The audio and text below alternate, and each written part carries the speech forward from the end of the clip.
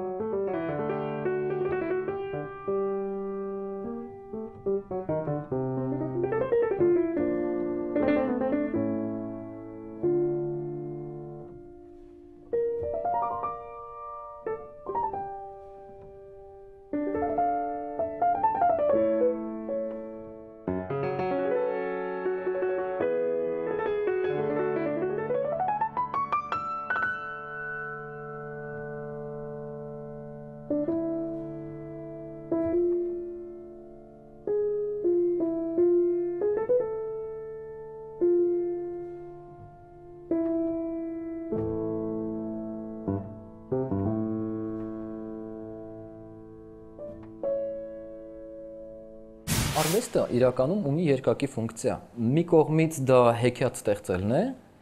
մի կողմից ճշմարտությունն ասելը։ Նման ներքին փոքրիկ հեղափոխություններ, որոնք կարող են առաջանալ ինչ որ երաշտության հետ առնչվելու շնորհիվ, Դրանք գրեթե ամենօրյա են կարևոր հեղափոխությունների մասին, եթե խոսեմ, մի քանի ստեղծագործության անուն պետք է տամ։ Օրինակ Ջորջե Էնեսկուի Ջութակի սոնատը, Կամիլ Սենսանսի Սամսոն եւ Դալիլա օպերան, դա Պուչինի երաժշտությունը կարող է լինել։ Հիմիկվա կոմպոզիտորներից օրինակ Օնջե Ադամեկի երաժշտությունը չեղ կոմպոզիտոր, որ ինձ համար շատ մեծ կարևորություն ունեցավ այս տարի։ Երաժշտության մեջ լինի դա կատարողական արվեստ, լինի դա կոմպոզիցիա, ինչ կարելի է սովորացնել եւ ինչը ոչ մի դեպքում միևնույն է չես սովորեցնի։ Հնարավոր չէ սովորեցնել ֆանտազիա։ Երևակայություն զարգացնել որևիցե մեկի մեջ կտրականապես հնարավոր չէ։ Եթե խոսենք կոմպոզիցիայի, զուտ կոմպոզիցիայի դասավանդման մասին, հնարավոր է սովորեցնել գործիքավորում Հնարավոր է սովորեցնել երաշտական ձև ինչ որ առումով, թեպետ երաշտական ձևն էլ շատ առումներով գործիքավորումն էլ իր հերթին կախված են երևակայությունից։ Իսկ կատարողին պետք է երևակայություն։ Անպայման։ Կատարողին միգուցե ավելի շատ երևակայություն է պետք, քան կոմպոզիտորին որովհետև կոմպոզիտորը այնուամենայնիվ ստեղծագործում է իր ունեցած ամբողջ հսկայական փորձի հիման վրա, այսինքն թե ինչ են գրել, ինչպիսի երաժշտություն են գրել նրա նախորդները։ Իսկ կատարողը ունի սարսափելի խնդիր իր առջև, մանավանդ դասական երաժշտության կատարողը առնչվում է մի արվեստի հետ, որի հետ առնչվել են տարբեր երաժիշտներ, այդ թվում իրենից շատ ավելի լավերը եւ շատ ավելի մեծ երևակայության բոშտվածները եւ այս առումով ինչքանով ուրիշի ստեղծագործության հիման վրա մարդ պետք է կարողանա հնչեցնել իր սեփական ձայնը, դա հսկայական մեծության խնդիր է։ Եթե փորձեք ձևակերպել Երևանի երաժշտական դեմքը, դա ինչ ժանր կլինի, ինչ մեղեդի կլինի, ինչ հնչողություն կլինի։ Միգուցե դա ջազ լիներ ինձ համար, ոչ թե ջազ երաժշտությունը, որը հնչում է, այլ այդ բազմազանությունը եւ այդ հանկարծաստեղծման ունակությունը, որ կա երաշտական կյանքում Հայաստանի, դա ինձ թվում է հատուկ ավելի շուտ ջազային երաշտությանը։ Մենք երբեք օրինակ անգամ դասական երաժիշտներս օրինակ Եվրոպայում միշտ պլանավորում ենք տարիներ առաջ, այ ինչ որ մի բաներ, Երևանում մենք պլանավորում ենք շաբաթներ առաջ։ Ամեն ինչի վրա կա այդ հանկարծաստեղծման աուրան Երևանի երաշտական կյանքում։ Երևանի ունկնդիրը մեծ մասամբ ճանաչում է քեզ անձամբ ոչ միայն քեզ որպես երաժիշտ կամ եւ այլն եւ այլն, այլ քեզ որպես հարևան, քեզ որպես դասընկեր, քեզ որպես եւ այլն եւ այլն, եւ այդ առումով Երևանում նվագելը ինչ խոսք ավելի դժվար է, քան ցանկացած ուրիշ մի տեղում։ Ոչ թե այն պատճառով, որ դու քաշվում ես ամաչում եւ այլն եւ այլն, այլ այն առումով, որ բոլորը լսելով քո նվագը կամ կատարումները կամ առհասարակ տեսնելով քեզ բեմում, սկսում են զուգահեռներ տանել քո հետ տարբեր առընչությունների նախքին փորձի վերաբերյալ։ Շատ հետաքրքիր ֆենոմեն է, ուրիշ տեղ թերևս շատ քիչ կա նման բան։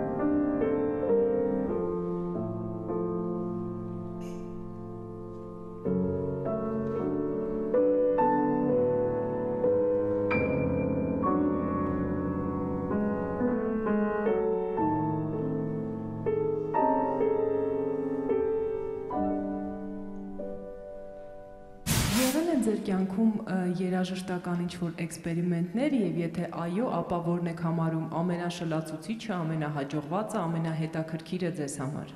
Ես չգիտեմ, թե մենք ինչ ենք անվանում էքսպերիմենտ, որովհետև ինձ միշտ նախապատրաստում էի որպես ժամանակակից երաժշտության կատարող նախ եւ առաջ, եւ այդ առումով երբ ես սկսեցի նվագել բեմից դասական երաժշտություն, դա ինձ համար մեծ էքսպերիմենտ էր։ Մոցարտ նվագելը առաջին անգամ, դա եղել է 2006 թվականին Թեհրանում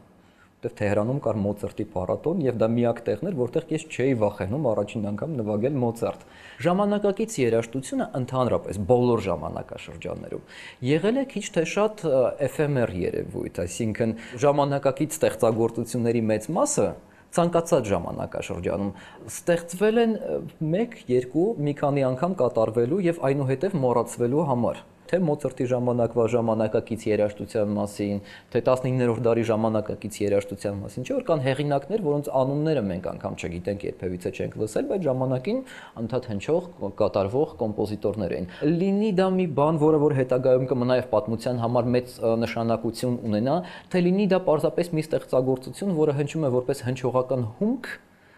վաղ թե ուշ կդառնա ուղակի հնչողական աուրա, մի միջավայր, մի երաշտարվեստի համար, որը որ կայանում է մեր աչքի առջև, բայց մենք դեռ չենք գիտակցում դրա կայացումը։ Իսկ երբևէ վախ զգում եք, որ այ մի օր կարտնանամ ու կհասկանամ, որ վերջ էլ մեղեդիները չեն գալիս։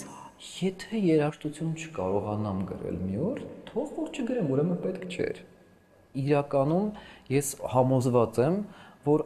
ավելի լավ է գրել շատ քիչ, բայց ազնիվ եւ գրել այն ինչ որ դու իրոք ուզում ես գրել, քան ստիպելով կամ որևիցե մի եսասիրության պատճառով Պատվերով չեք գրում։ գրում եմ, բայց լինում են այդպիսի դեպքեր, երբ քեսից հրաժարվում եմ պատվերից, երբ ես հասկանում եմ, որ չեմ կարող անել այդ բանը։ Երբևիցե ցանկություն չեմ ունեցել կինոյի համար գրելու, բայց բացի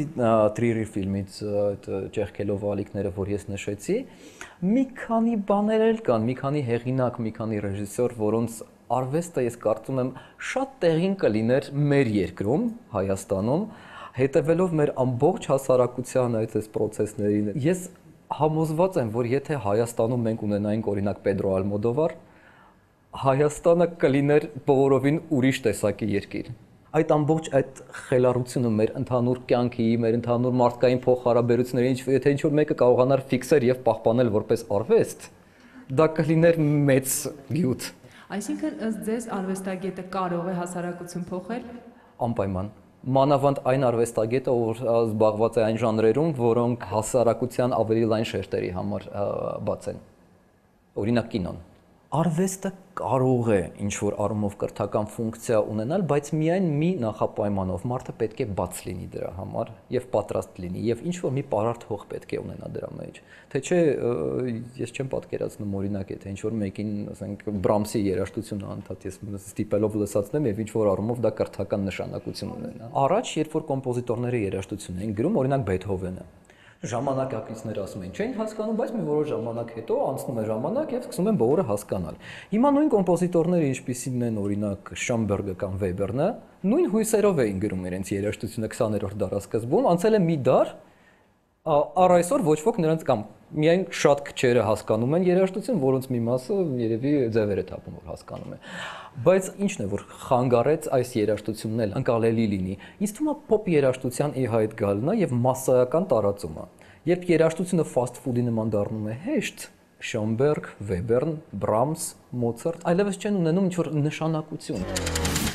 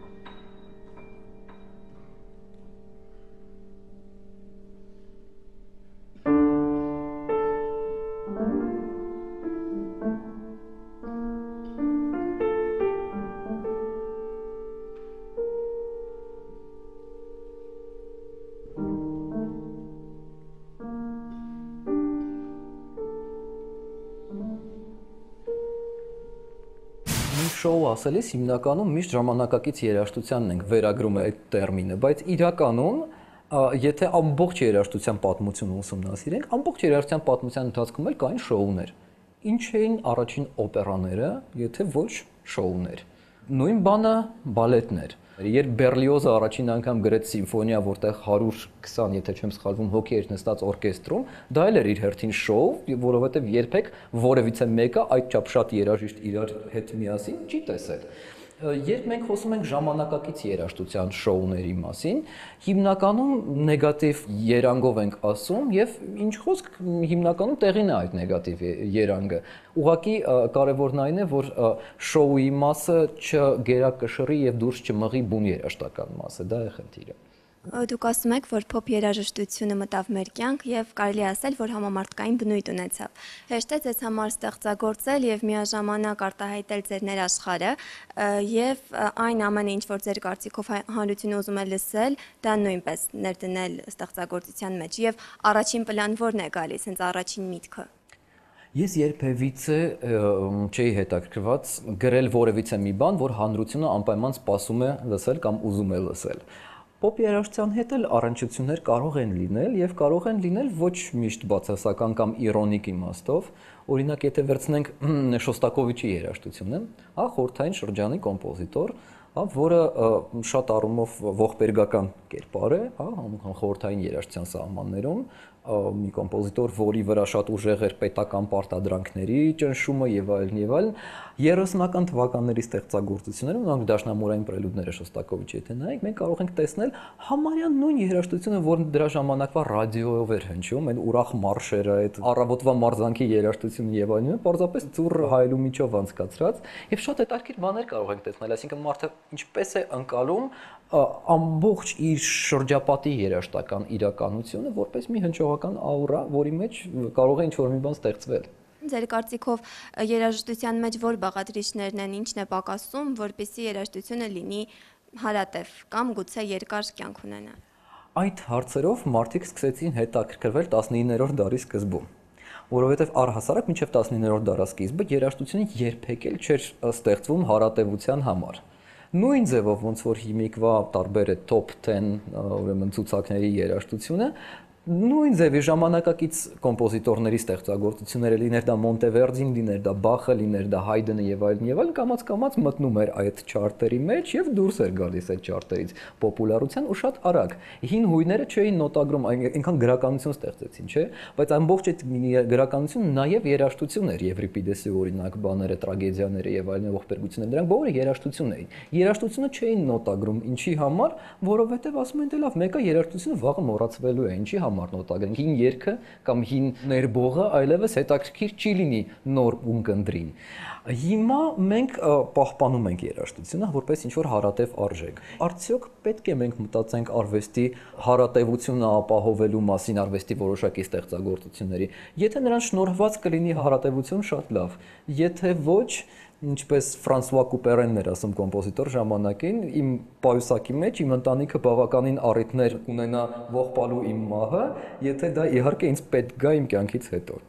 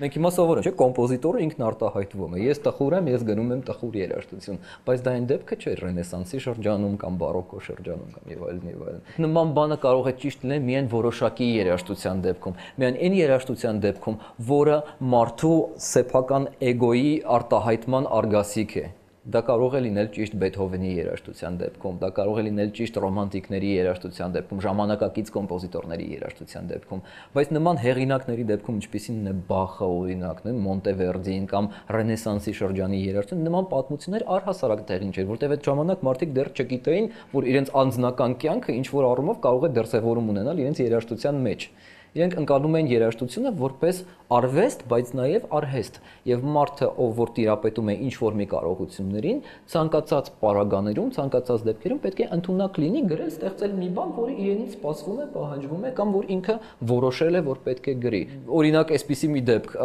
Ջեզուալդոն, Ռենեսանսի շրջանի մեծ կոմպոզիտոր, խանդի հողի վրա սպանեց իր կնոջը իր սիրեկանի հետ։ Եթե դա լիներ Աստված ոչ արած թե Բեթհովենի դեպքը, մենք կտեսնենք մի շարք ողբերգական ստեղծագործություն դրանից հետո։ Ջեզուալդոյի դեպքում մենք չենք տեսնում որևիցե մի բան դրանից հետո ենք շարունակում է գրել նույն ձևի, նույն կարգի երաժշտություն, նույն կարգի գեղեցիկ ձայների համադրումներ եւ այլն եւ այլն։ Դա արհեստ է, դա նաեւ արվեստ է, բայց դա նաեւ արհեստ է։ Ժամանակաշրջանի հարցն է։ Մարդիկ չէին հասկանում, որ երաժշտությունը կարող է էգոյի արտահայտում լինել։ Դա դա շատ հետաքրքիր մոտեցում է։ Իմ ցանկությունս է, որ բոլոր մարդիկ լսեն գեղեցիկ հրաշալի երաժշտություն եւ տեսություն